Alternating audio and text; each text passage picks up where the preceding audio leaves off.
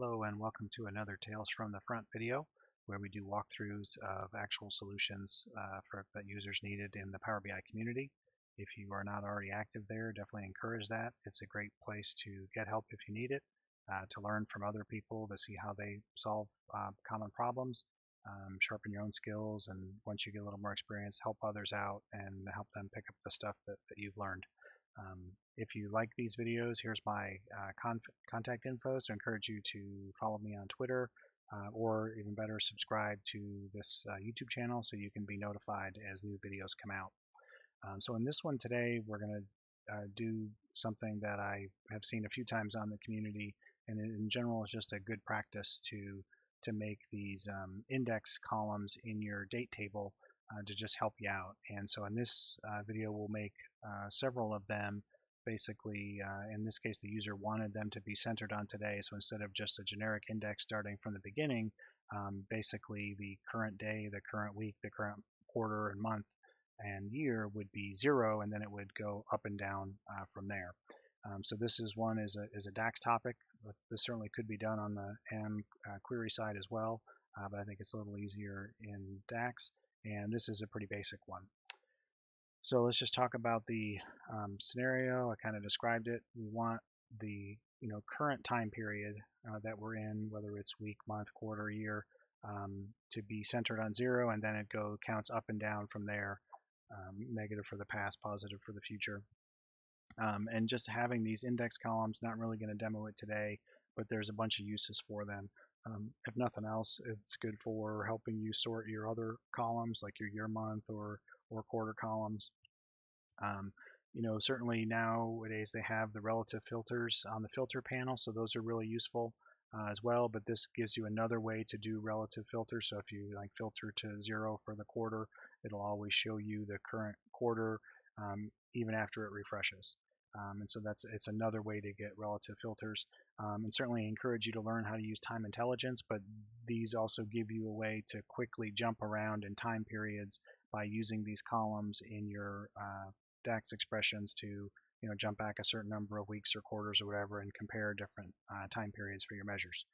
Um, certainly, I hope everyone knows uh, it's best practice not to have a auto-generated date table. So you know look in your settings and make sure uh, that you have this box unchecked, auto uh, um, date time. Um, if you open an older file, since before you uncheck that box, you can you, you would need to also change it in this the current file settings on data load. Uh, just uncheck the same box. Um, all right, so let's talk about uh, how to make these columns. This should be a pretty short video. Uh, so I'll just jump over to data view and we'll talk in this date two and then I'll show you sort of it all put together in this this date um, one. So basically this date two is just a, a typical uh, DAX uh, calculated table and in this case uh, we're using the add columns around the calendar function to generate um, just these typical kind of columns year, year, month, month, and year, quarter. Um, so these these first columns here that we're showing um, over a fixed date range. Of course, this can be dynamic. You can use min-max against your fact table as well to dynamically set these up, which is I definitely encourage you to do that. But for this demo, I just hard-coded them in for 2020 and 2021. Okay, and so then from here, um, each of these index columns is added uh, as calculated columns, but I'll show you in a second how you could just update that add columns calendar formula to also include these um, as well. And so the, the pattern is similar. You know, basically on each of these, you're going to say, you know, what's the, the current value for the today time period that I'm in, whether it's day, week, month, quarter, year, um, and then what is the value for the current row that I'm on. So in each of these ones I'm going to show you, you'll be using the value from what's on the, the date table, uh, the date column, and so that's this reference here, the date. And so with the day one, it's real simple. Basically, it's just using the date diff function to compare today to whatever the value is on this row. Um, since we're doing the uh, today first, any date in the past would come up as a negative number. And in the date diff function, you can set the time interval you want to measure. And in this case, we're using day. And so um, because it's late November, you know, we're you know 332 days into 2020, and uh, you know we get uh, negative 332 for the day index. So this one's this one's real simple. Um, the week index is a little more involved, but it's basically the same pattern. So basically what we're used doing here is two variables. So in the first variable, you know, today's start of the week. So we're taking today. Uh, so if this refreshes daily, this would get updated every day. And basically this is a common trick to do is, is subtract from today the use the weekday function of today. So what day of the week is it? 1 to 7. Um, uh, also of today and then add one back to it. And this would basically give you the Sunday of the current week and then you can do the same approach for the value on this row where you would do again take that date subtract the day of the week um, add one to it and you would get the Sunday for whatever this row is and then again we do the date diff function to compare those two variables and this would return days and then we just divide by 7 which gives us the number of weeks so we get a week index again that goes uh, from from that. The this current week would be zero, um, and then um, it would be positive uh, for future weeks. Okay. Um, similar thing for the month.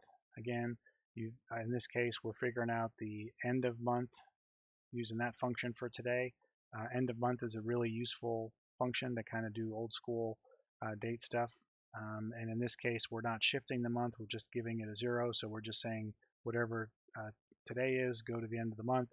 Same approach here, whatever the, the date value is in this row, go to the end of its month, uh, also zero there, and then again do the date diff.